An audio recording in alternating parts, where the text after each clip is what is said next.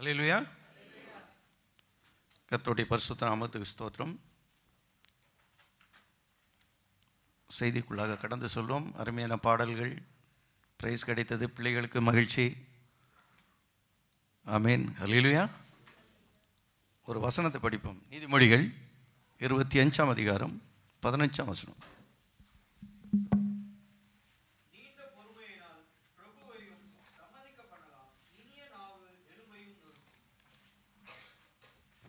பண்ணலாம் ஆ இனிய நாவு திரும்ப படிங்க.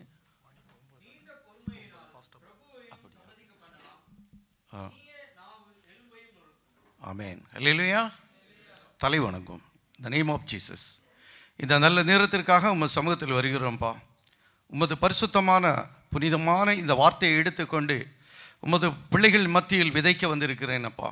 உமது வார்த்தை என்ற இந்த விதையானது ஒவ்வொருவருடைய உள்ளத்திலும் விதைக்கப்பட்டு இந்த விதையானது கனி கொடுக்கக்கூடிய மரமாக நீர் மாற்ற வேண்டும் என்று செபிக்கிறேனப்பா இந்த வார்த்தை எடுத்து பேசும் பொழுது என்னுடைய இருதயம் என்னுடைய சிந்தனை என்னுடைய உதடுகளை நீர் உமது கட்டுப்பாட்டுக்குள் வைத்துக்கொள்ளும். தவறான வார்த்தைகள் என் வாயிலிருந்து வந்து விடாதணும் நீர் என்னை பாதுகாத்து கொள்ளும். கேட்கக்கூடிய பிள்ளைகளுடைய காதுகளையும் இருதயத்தையும் பரிசு தாவியினாலே திறந்து உமது வார்த்தையை அனுப்பும். வார்த்தையானது எங்களுக்குள் இருந்து ஜீவிக்கட்டும். ஆசீர்வாதத்தை நாங்கள் பெற்றுக்கொள்ள நீர் கிருபை செய்யும் கத்தராகி இயேசு கிறிஸ்துவின் நாமத்தில் தாழ்மடி செபிக்கிறேன் இறக்க நிறுத்த தப்பனே ஆமென். பிரைஸ் லாட் அல்லேலூயா திரும்ப படிங்க. நீண்ட பொறுமையினால் பிரபுவையும் சம்மதிக்க பண்ணலாம் ஆமென். ஒரு விசேஷ செய்தி. நீண்ட பொறுமை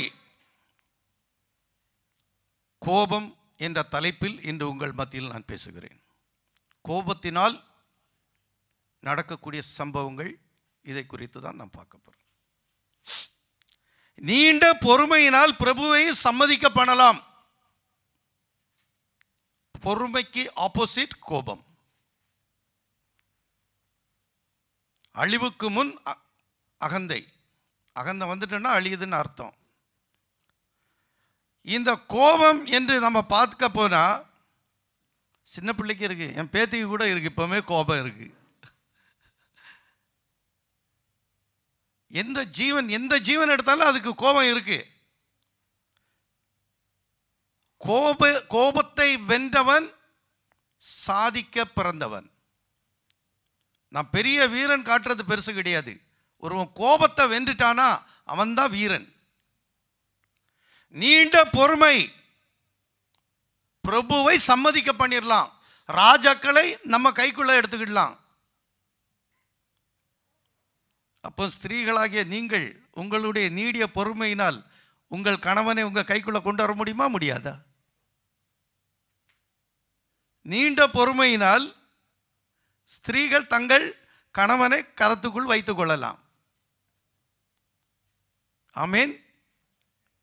இந்த நீண்ட பொறுமையை குறித்து பைபிள் சொல்லுது இனிய நாவு எலும்பை நொறுக்கும்.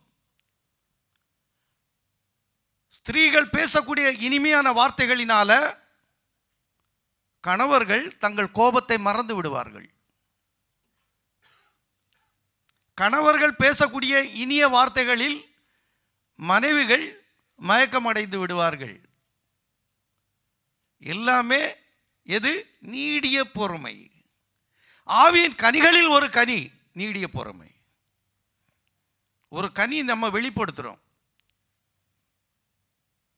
இந்த கனியை தேவன் விரும்புகிறார்.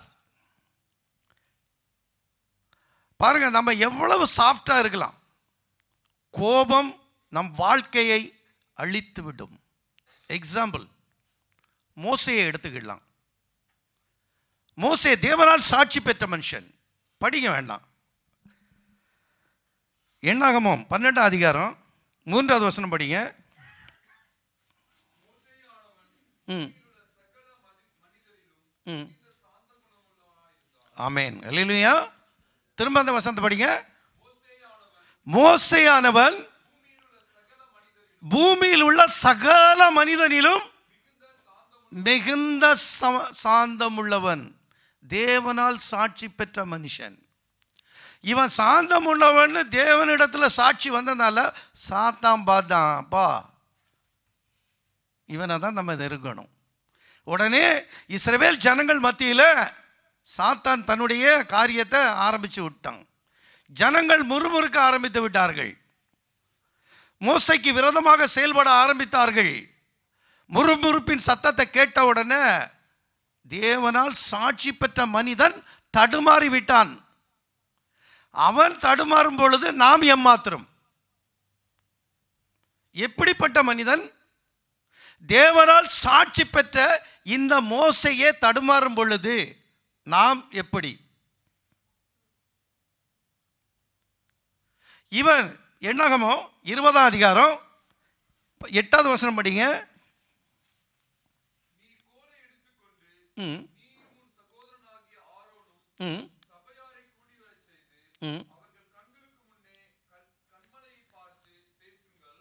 போதும். கண்மலையை பார்த்து பேசுங்கள்னு ஒரு வார்த்தை வருது. நீ நேரா போய் கண்மலையிட்ட போய் பேசு. தேவனால் சாட்சி பெற்ற மனிதன் பார்த்துக்கிடுங்க புரிந்து கொள்ளுங்கள். கண்மலையை பார்த்து பேசுன்னு சொல்றாரு. இவன் என்ன செய்கிறான் படிங்க பதினொன்றாம் வசனம் படிங்க.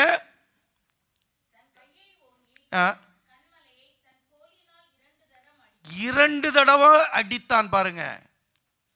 பேச சொன்னாரு இந்த ஜனங்களுடைய முறுமுறுப்பினால் எரிச்சல் உண்டாகி அவன் என்ன செஞ்சிட்டான்? தன்னுடைய கோபத்தை வெளிப்படுத்தினான். ஏன்? அவன் மறந்துட்டான் பாருங்க அவன் வேணும்னு செய்யலை. அவன் மறந்துட்டான். எப்படி மறந்தான்? யாத்திரையாகமம் பதினேழாம் அதிகாரம் ஆறாவது வசனம்.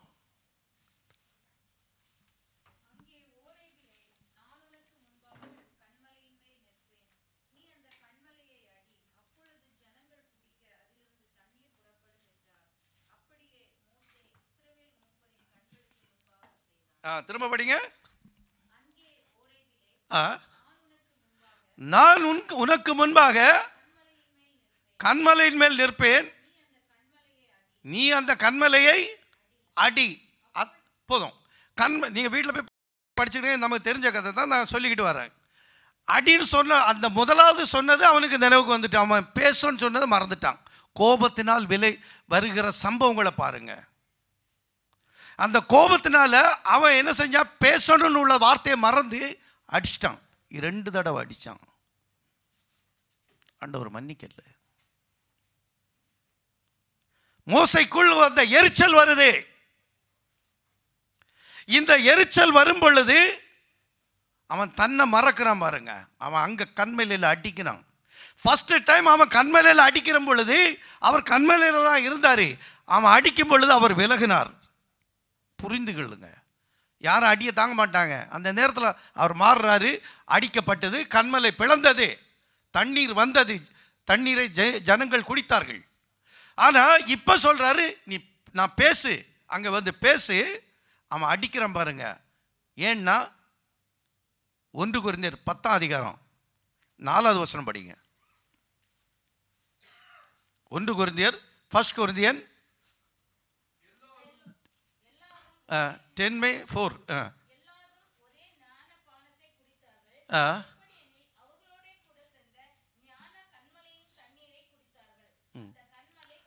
அந்த கண்மலை கிறிஸ்துவே புரிஞ்சுக்கொள்ளுங்க.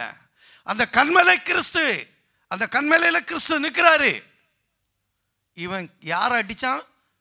கண்மலை அடிக்கல. யாரை அடிச்சான்? கிறிஸ்துவ அடிச்சான்.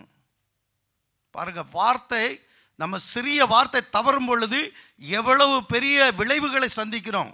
நேராக கா கானான் பிரதேசத்தை கூட்டி காண்டிட்டு பார்த்துக்கா நீ போக மாட்டான் அவன் எதை ஆசைப்பட்டானோ அதை போக முடியாமல் ஆயிற்று. இதே போல தான் நம்முடைய குடும்பத்தில் இந்த கோபமானது நம்முடைய ஆசீர்வாதத்தை தடை செய்கிறது. நிச்சயமாக தேவன் வார்த்தையில் உண்மை உள்ளவர். அவர் நீதியை செய்கிற தேவன். அவர் நியாயத்தை செய்கிற தேவன். நாம் வார்த்தையை விட்டு விலகும் பொழுது தேவனுடைய ஆசீர்வாதம் நம்மை விட்டு கடந்து சென்று விடும் அதுதான் மோசைக்கு நடந்துச்சு.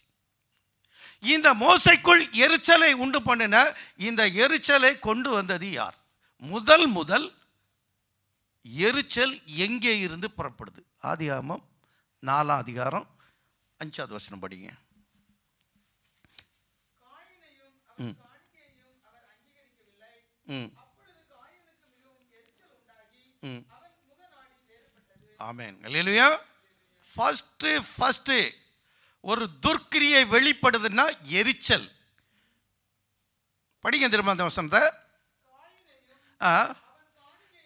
காயினையும் அவன் காணிக்கையும் ஆ, ஆ, எரிச்சல் உண்டாகியது. காயினுக்கு எரிச்சல் ஆயிட்டு. அவன் முகநாடி வேறுபட்டது. எட்டாவது வசனத்தை அப்படியே படிங்க காயின் தன் சகோதரனாகிய ஆபேலோடே பேசினான் ஆ, அவர்கள் வயல்வெளியில் இருக்கும் சமயத்தில் ஆ. காயின் தன் சகோதரனாகிய ஆபேலுக்கு விரோதமாய் எழும்பி அவனை கொலை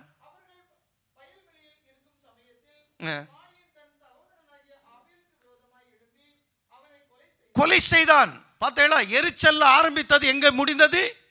கொலையில் முடிந்தது. அப்ப நம்ம வீட்டுக்குள்ளுக்கு எரிச்சல் வருதுன்னா தடை செய்யணும். அது சாத்தானுடைய கிரியை. அது விபரீதமான காரியத்தை சந்திக்கும். சற்று நாம் சிந்தித்து பார்க்க வேண்டும்.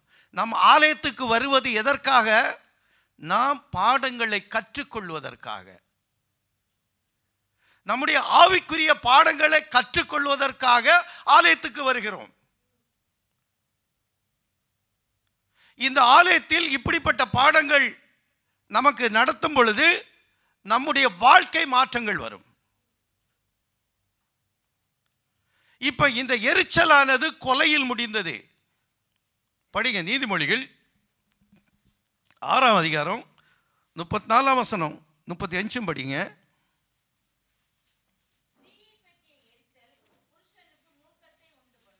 ம்.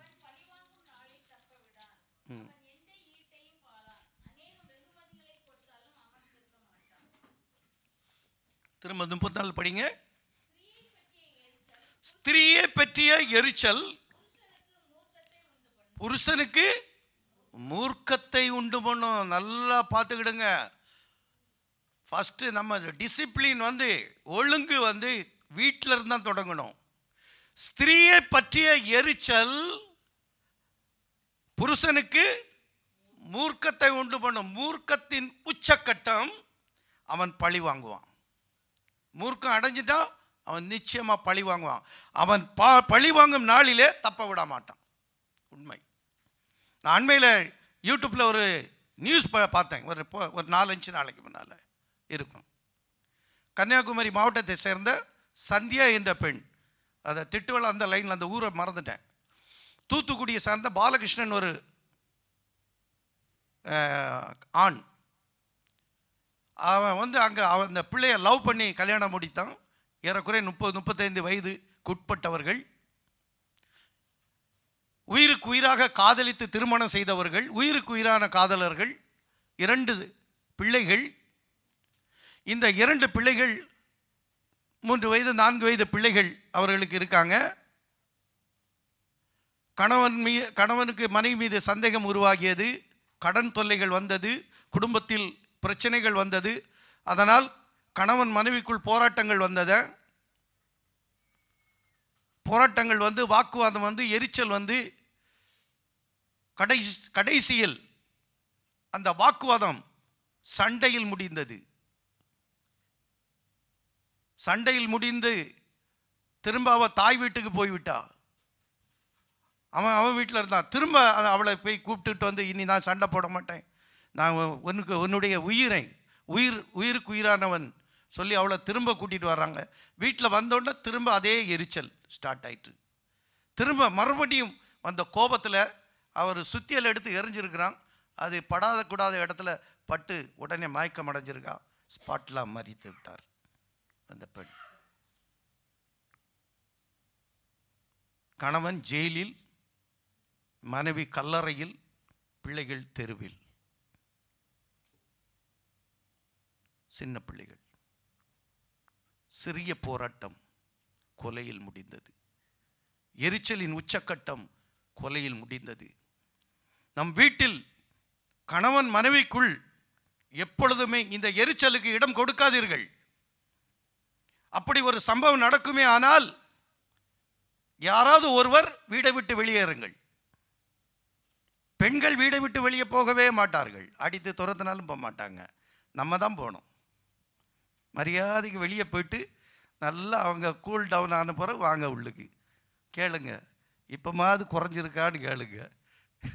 இல்லையா? இன்னி பேசணுமா பேசு. நான் திரும்ப ஒரு ரெண்டு ஹவர் கழிச்சு வரேன். வாய் வலிக்கு வர பேசுவாங்க. அதுக்கு பிறகு என்ன ஆகும்? விட்டுருவாங்க. அதுக்கு பிறகு தம் தம்மு வேணும்ல. பின்ன ஒரு கிளாஸ் தண்ணி தான் கொடுக்கணும். குடிச்சிட்டு பேசு. இடம் கொடுக்கக்கூடாது. புத்திமான் அதை தான் செய்வான். புத்தி உள்ள ஸ்திரீ வீடை கட்டுகிறாள். சிந்திக்கணும். விலையேற பெற்ற பாக்கியம் தாலி பாக்கியம்னு தமிழில் சொல்லுவாங்க. கல்லானாலும் கணவன் புல்லானாலும் புருஷன்னு தமிழ் பழமொழி உண்டு. கடைசி வரைக்கும் அவர் வேணும். அப்போ விட்டு கொடுக்கும் தன்மை பெண்களுக்கு மிகவும் முக்கியம். கணவனுக்கு இந்த எரிச்சல் வர ஊட்டினேன்னா அது இப்படி ஒரு சம்பவம் நடக்கும். இல்லையானால் கணவன் வீடை விட்டு ஓடி போயிடுவான். இல்லைன்னா அவன் குடிகாரன் ஆகி போவான். ஏதாவது ஒரு சம்பவம் வீட்டில் நடக்கிறதுனால குடும்பம் சீரழிவில் வந்துடும் அதுதான் நமக்கு வேதம் நமக்கு பாடம் கற்றுக் கொடுக்கிறது. படிங்க நீதிமொழிகள் முப்பத்தஞ்சு படிங்க. ஆ, அமேன் பாருங்க ஒரு தடவை ஒரு மனுஷனுக்கு வந்து அந்த எரிச்சல் அந்த கோபம் அவனுக்குள் வந்து விட்டா அவனால் கட்டுப்படுத்த முடியாது. என்ன தான் செய்யுங்க. அவன் கட்டுப்பட மாட்டான். இதனால் நம்ம அநேக சம்பவங்களை நம்ம பார்த்துருக்குறோம். அநேக சம்பவங்களை நம்ம கேட்டு இருக்கிறோம் ஒரு கிறிஸ்தவன் நாம தான் இந்த உலகத்துக்கு வழிகாட்டின்னு வேதம் நமக்கு போதிக்குது. நாம தான் உலகத்துக்கு வழிகாட்டி. இயேசு கிறிஸ்துவுடைய பிரசன்னத்தை நாம் வெளிப்படுத்த வேண்டும். அந்த பிரசன்னம் வெளிப்பட வேண்டுமானால் நாம் கர்த்தருக்குள் ஜீவிக்க வேண்டும்.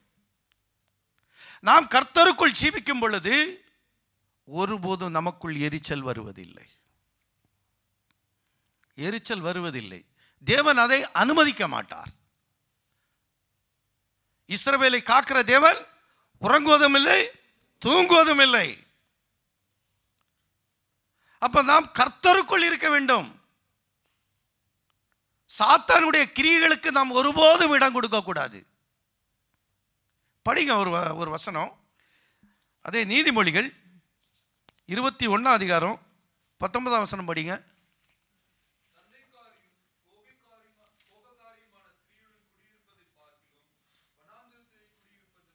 அமேன் அல்லேலூயா.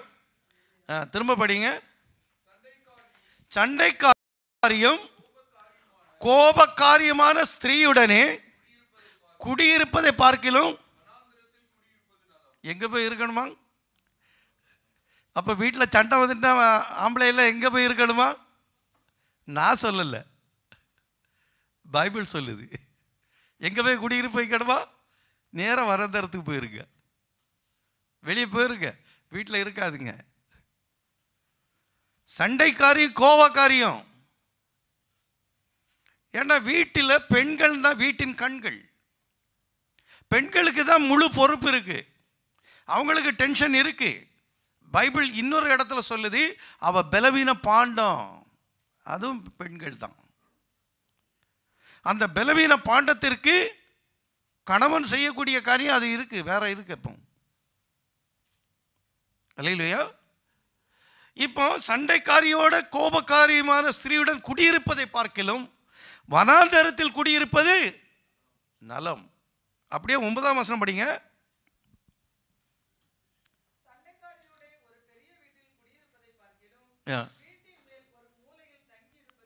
ஆமென். திரும்ப படிங்க. சண்டைக்காரியோடே ஒரு பெரிய வீட்டில் குடியிருப்பதை பார்க்கிலும் ஆ, ஒரு மூலையில் போய் உக்காந்துருந்தா நல்லது. அப்போ மனைவி சண்டை போடுறான்னு என்ன செய்ய வேண்டியது? நேராக ஒரு மூலையில் போய் ஒளிஞ்சுக்கிட வேண்டியது தான் அவ்வளோதான் கம்முன்னு இருக்கணும். இப்போ தான் கவலையே இல்லையே. ரெண்டு ஸ்பீக்கர் எடுத்து காதில் ஃபிட் பண்ணிக்க இருந்துருங்க. பாட்டு கேட்டுட்டு அவன் வாக்கில் அவன் பேசுவது ஆடிக்கிட்டே இருங்க. அல்லையா சண்டை வரக்கூடாது. ஒரு மூலையில் உட்காந்துரு அப்போ நாம் வந்து பொறுமையை கையாளணும். பெண்களுக்கு கோபம் வரும் பொழுது ஆண்கள் தங்கள் பொறுமையை கையாள வேண்டும். அதுக்கு தான் இதை கொடுக்குறாரு. அங்கே ஆண்கள் கோபப்படும் பொழுது பெண்கள் அமைதியாக இருக்க வேண்டும். யாராவது ஒரு ஆள் விட்டு கொடுக்கும் தன்மை வேணும். அப்படி விட்டு கொடுக்கும் தன்மை இல்லைன்னா அது கொலையில் முடியும். விபரீதமான காரியங்கள் வந்து நிகழும். அதனால் நம்முடைய பிள்ளைகளுடைய வாழ்க்கை பாதிக்கப்படும். நீங்கள் யாருக்காக உழைக்கின்றீர்களோ யாருக்காக வாழ்கின்றீர்களோ அவர்களுடைய வாழ்க்கை கேள்விக்குறியாகிவிடும். அதுதான் உண்மை. ஆகையால் தேவனுக்கு பிரியமான காரியங்களை நாம் செய்யும் பொழுது வீட்டில் ஒருபோதும் சண்டை வருவதில்லை. அந்த ஈகோ பிரச்சனை கொடுக்கக்கூடாது. நான் பெரியவன். நான் தான் சொல்லதை அவ செய்யணும். அவ ஐயோ மனைவி சொல்ல நான் நினைக்கிறது தான் கனவு செய்யணும். அதெல்லாம் இருக்கக்கூடாது குடும்பத்தில். மாற்றிருங்க அவர் போக்கில் அவரை விட்டுருங்க. அவர் பார்த்துக்கிடுவார் அவர் போக்கில் விட்டுருங்க. அவங்க பார்த்துக்கிடுவாங்க. ஏண்டா இரண்டுமே தேவனுடைய பிள்ளைகள். கணவனும் மனைவியும் தேவனுடைய பிள்ளைகள். இருவர் மீது கண்ணை வைத்து ஆலோசனை சொல்லுகிறவர் நம்முடைய ஜீவனுள்ள தேவன். மூன்று வேளை ஜெபி ஜெபம் செய்ய கூடிய குடும்பத்தில் அங்கே நீடிய பொறுமை இருக்கும். அதுதான் வேதத்தின் சித்தாந்தம். ஜபிக்கும் பொழுது தேவனுடைய வல்லமை நமக்குள் பிரவேசிக்கும். சாத்தானுக்கு இடம் இல்லை அது உண்மை. இப்ப பெரிய சண்டைக்காரியுடைய வசிப்பதை பார்க்கலும் ஒரு மூலையில் இருக்கணும். நம்ம வேதம் கற்றுக் கொடுக்குது. அருமை தத்துவ ஞானி சாக்ரட்டிஸ் என்பவர் ரெண்டாயிரம் வருடங்களுக்கு முன்பு அவர் எழுதிய தத்துவங்கள் இன்றும் நம் மத்தியில் பேசப்படுகிறது. அவருடைய மனைவி சண்டைக்காரி. அப்போ அவர் அவருடைய நண்பர்கிட்ட சொல்கிறாரு என் ஒருவனுக்கு நல்ல மனைவி அமைந்து விட்டால் அவன் சொர்க்கத்தை தேடி போக வேண்டாம் சொர்க்கம் அவன் வீட்டில் இருக்கின்றது. சண்டைக்காரி மனைவி அமைவாளே என்றால் அவன் தத்துவ ஞானி ஆகி விடுவான் அவன் தத்துவ ஞானி ஆகி விடுவான் நல்ல மனைவி அமைந்தால் அவன் சொர்க்கத்தை பூமியில் பார்ப்பான். சண்டைக்காரி மனைவி அமைந்து விட்டால் அவன் தத்துவ ஞானி ஆகி விடுவான் அவர் தத்துவம் சொல்றாரு. ஒரு முறை அவர் சாக்ரட்டிஸை தேடி அவருடைய நண்பர்கள் வராங்க. நண்பர் வந்த பொழுது அவர் எப்பவுமே மனைவியை ஹனின்னு தான் கூப்பிடுவார். தேனேன்னு. தேனே நண்பர்கள் வந்திருக்காங்க. தண்ணி கொண்டு வா.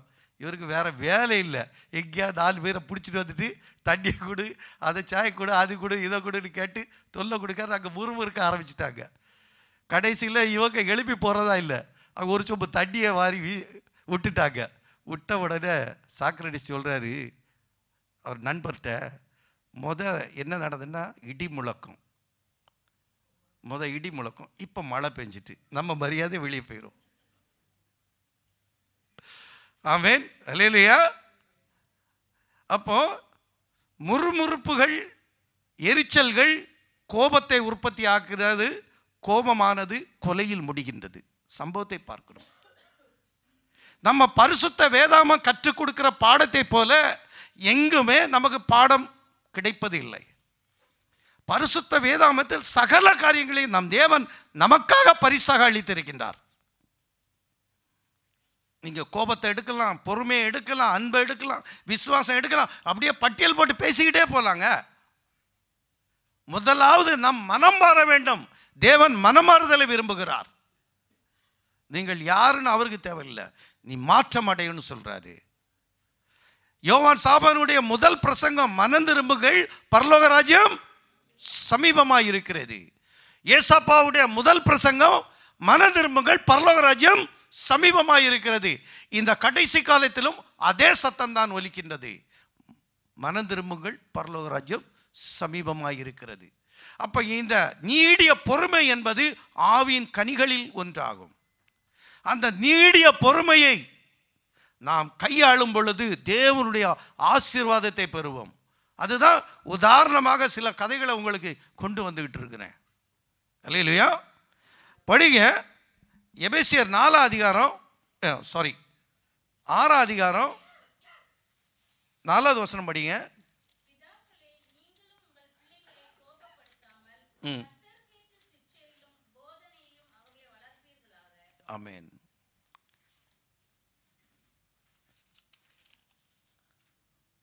ஆ, திரும்ப படிங்கம்மா. பிதாக்களே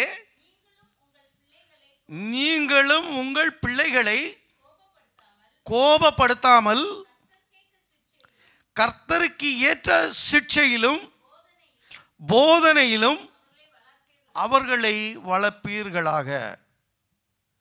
பிள்ளைகள் மேலே என்ன செய்யக்கூடாதான் பிதாக்கள் கோபப்படக்கூடாது. ஆனால் கர்த்தருக்கு ஏற்ற சிக்ஷையை கொடுக்க சொல்லியிருக்கிறாரு.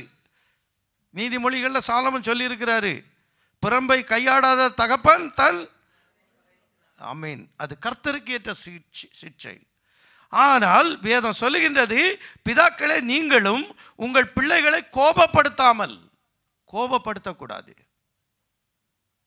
அமெரிக்காவில் நான் படித்த ஒரு கதை ரொம்ப வருடம் ஆயிட்டு எனக்கு நினைவில் சரியாக வரமாட்டேங்குது.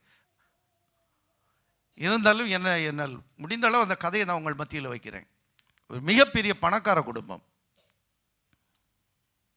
அவருக்கு ஒரே ஒரு மகள் இரண்டு மூன்று வயதுக்கு உட்பட்டது.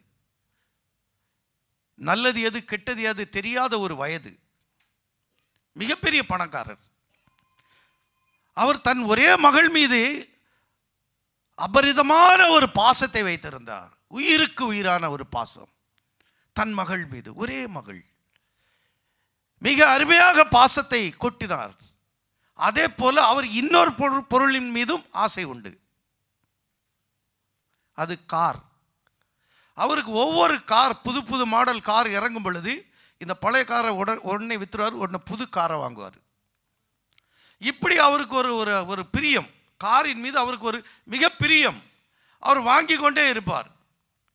கார் மாற்றுவது அவருக்கு ஒரு ஒரு பொழுதுபோக்கு மாதிரி.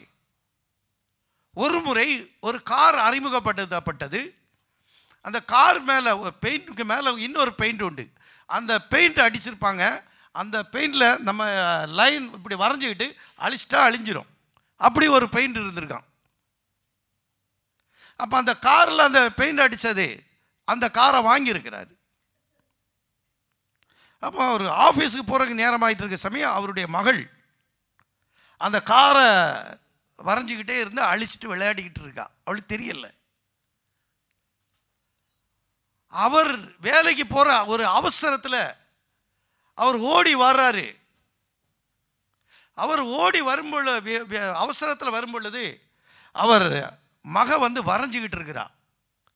வரைஞ்சிக்கிட்டு இருந்த உடனே அவர் பார்த்த உடனே அவருக்கு கோபம் உச்சக்கட்டத்தில் போயிட்டு.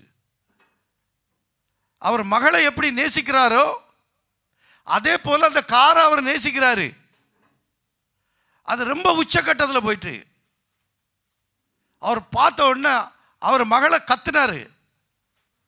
கத்துன உடனே என்ன செஞ்சு அந்த பிள்ளை பயத்தினால அதை அழிக்கல.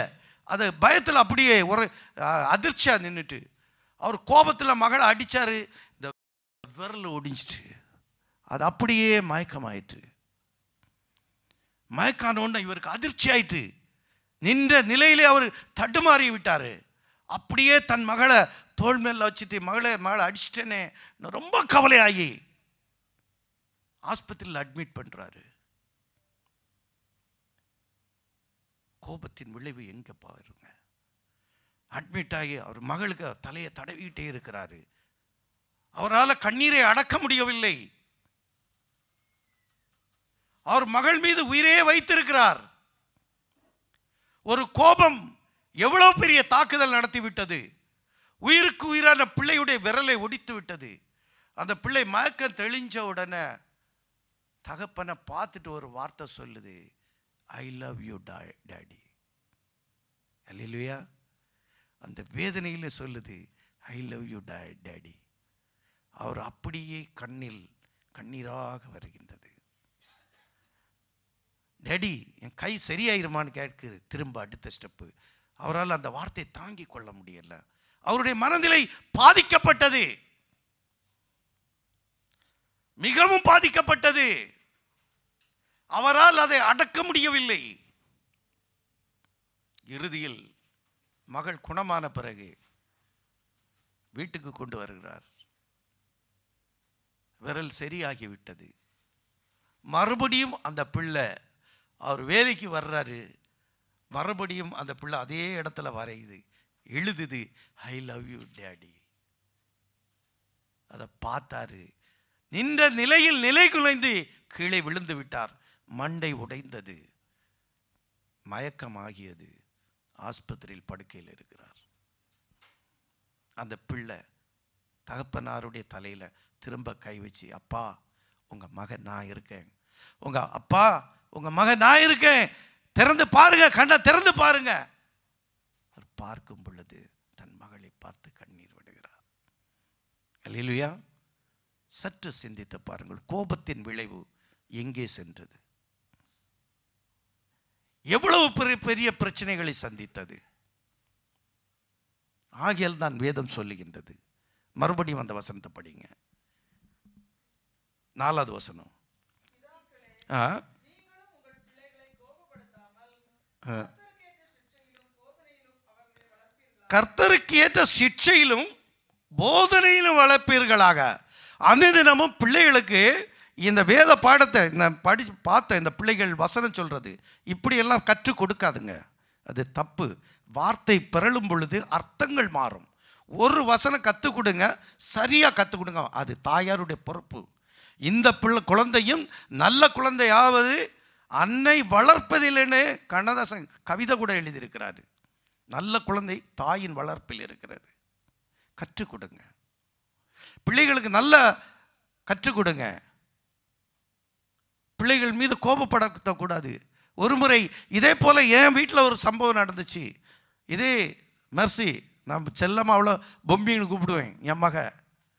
அவள் பன்னெண்டு பதிமூணு வயசு இருக்க டைமில் சின்னலே ரொம்ப சேட்டை போடுவாள் நான் எப்போவுமே பிள்ளைகள்ட்ட ரொம்ப பாசமாக இருப்பேன். கோவம் வந்துட்டுன்னா நான் ரொம்ப அடிச்சிடும் போடுவேன்.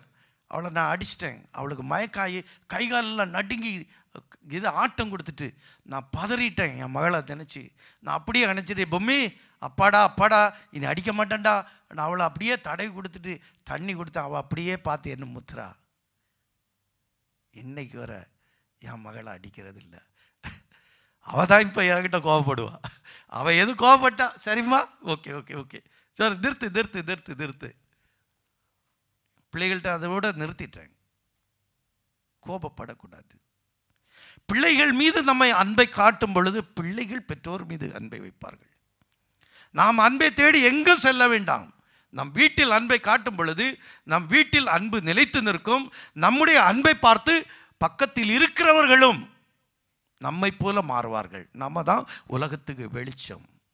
இல்லையா படிங்க அந்த குலசியர் கொலோசியர் மூணாவது அதிகாரம் எட்டாம் வசனம் படிங்க. ஆ ம்.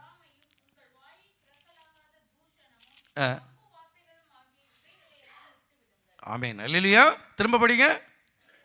இப்பொழுதோ கோபமும் மூர்க்கமும் பொறாமையும் உங்கள் வாயில் பிறக்கலாகாத தூஷணமும் வம்பு வார்த்தைகளும் ஆகிய இவைகளெல்லாம் இப்பொழுதே விட்டு விடுங்கள் இன்னைக்கு கிடைக்கக்கூடிய செய்தியில் இன்றே மனமாறுங்க மனமா மனமாறுதல் தான் தேவன் விரும்புகிறார்.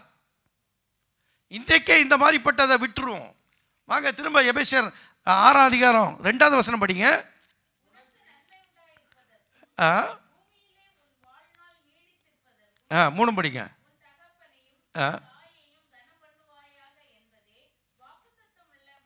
முதலாம் கற்பனை. பிள்ளைகளுக்கு தேவன் கொடுத்த ஒரு கட்டளை பாருங்க. திரும்ப படிங்க அந்த வசந்த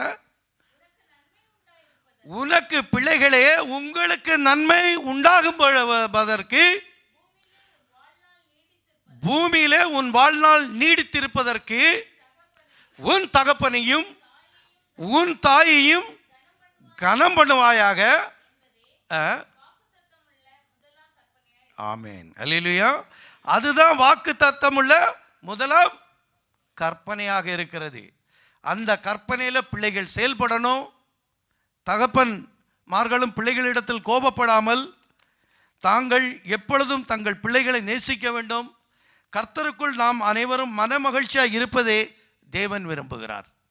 வீட்டில் தேவனுடைய ஆசீர்வாதம் தங்க வேண்டுமானால் அனுதினமும் மூன்று வேளை ஜெபம் பண்ணுங்கள். அனுதினமும் பிள்ளைகளுக்கு வேத பாடங்களை கற்றுக் கொடுங்கள். பிள்ளைகளுக்கு வேதத்திலிருந்து கதைகள் சொல்லிக் கொடுங்கள். பிள்ளைகள் ஒருபோதும் தவறான காரியங்களில் செல்ல மாட்டார்கள். கர்த்தர் நம் எல்லோரையும் ஆசீர்வதிப்பார். ஆமேன். ஒரு பாடல்களுடன் உங்களிடம் விடை பெறுகிறேன் நான் வருகிற பதினெட்டாம் தேதி நான் என் தாயகம் செல்லுகிறேன். எனக்கு மிகவும் ஆதரவு அளித்தீர்கள். மிக்க மகிழ்ச்சி. ஆமேன். இல்லையா